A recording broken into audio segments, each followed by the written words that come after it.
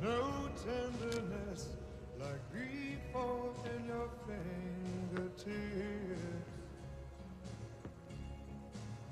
You're trying hard not to show it.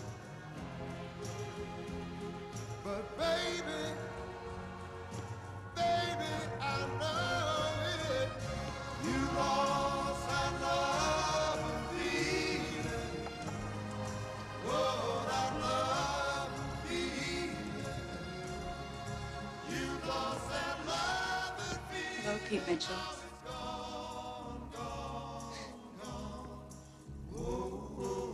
I heard the best of the best were going to be back here, so.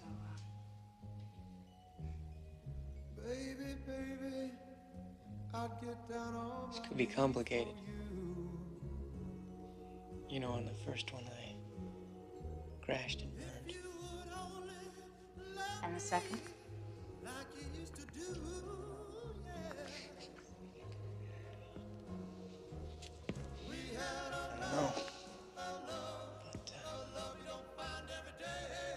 I'm